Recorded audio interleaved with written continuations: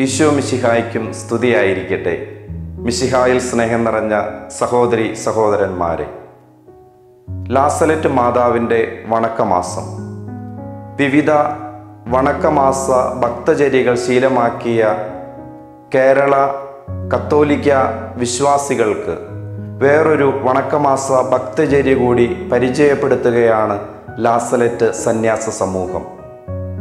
പരിശുദ്ധ കനികാമറിയം ആയിരത്തി എണ്ണൂറ്റി നാൽപ്പത്തി ആറ് സെപ്റ്റംബർ പത്തൊമ്പതാം തീയതി ലാസലറ്റ് മലയിൽ പ്രത്യക്ഷപ്പെട്ട് ഇടയ പൈതങ്ങൾക്കായി അനുരഞ്ജന സന്ദേശം നൽകി.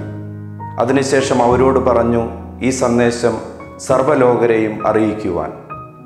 പരിശുദ്ധ കനികാമാതാവ് നൽകിയ അനുരഞ്ജന സന്ദേശത്തെ അടിസ്ഥാനപ്പെടുത്തി പരിശുദ്ധ അമ്മയുടെ വാക്കുകളിൽ അടിസ്ഥാനമുള്ള ആത്മീയത ആഴപ്പെടുത്തുന്നതിന്റെ ആവശ്യകത ഉൾക്കൊണ്ടുകൊണ്ട് പരിശുദ്ധ കനികാമറിയത്തിന്റെ പ്രത്യക്ഷത്തിന്റെ ജൂബിലി ആഘോഷിക്കുന്ന വേളയിൽ തന്നെ അമ്മയുടെ വാക്കുകൾ ഉൾക്കൊണ്ട് ബൈബിളിൽ അധിഷ്ഠിതമായ ഒരു ഭക്തചര്യ ശീലമാക്കുക എന്ന ഉദ്ദേശത്തോടു കൂടി ഈ ഭക്തചര്യ നിങ്ങളുടെ സമക്ഷം ഞാൻ സമർപ്പിക്കുന്നു.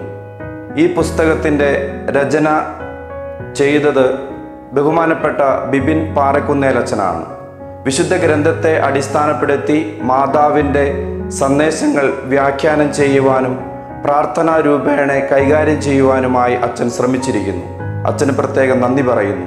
അതോടൊപ്പം തന്നെ ഇതിന്റെ ഇമ്പിരിമാതൃ നൽകിയത് ഇരിഞ്ഞാലക്കുട രൂപത അധ്യക്ഷൻ ബഹുമാനപ്പെട്ട മാർപ്പോളി കണ്ണുക്കാടനാണ്. പിതാവിനോടും എന്റെ നന്ദി ഞാൻ അറിയിക്കുന്നു.